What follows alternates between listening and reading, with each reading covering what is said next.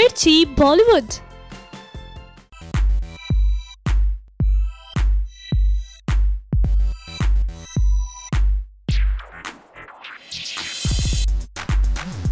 बॉलीवुड की hot actress Sunny Leone social media पर काफ़ी एक्टिव रहती हैं।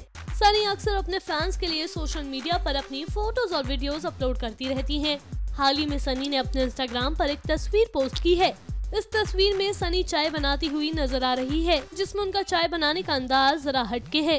पिंक कलर की बहुत सुंदर केतरी को डंडे से लटकाकर सनी लाइटर से चाय बनाने की कोशिश कर रही हैं। तस्वीर के साथ कैप्शन में सनी ने लिखा है कि कृपया सिर्फ़ लाइटर से ही चाय न बनाएँ, ये बिल्कुल काम नहीं करता। मैंने ट्राई किया लेकिन मैं फेल होगी लॉल।